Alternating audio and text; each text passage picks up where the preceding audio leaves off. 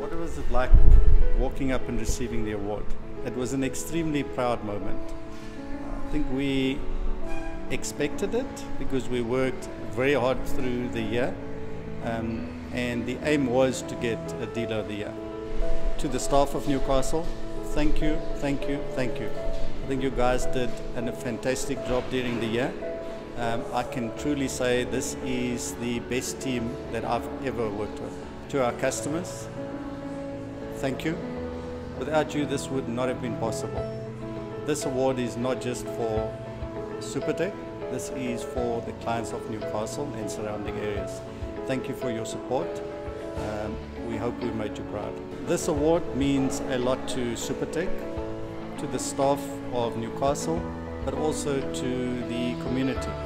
This has been the first time that Newcastle has been able to get this award, and we really hope it's not the last.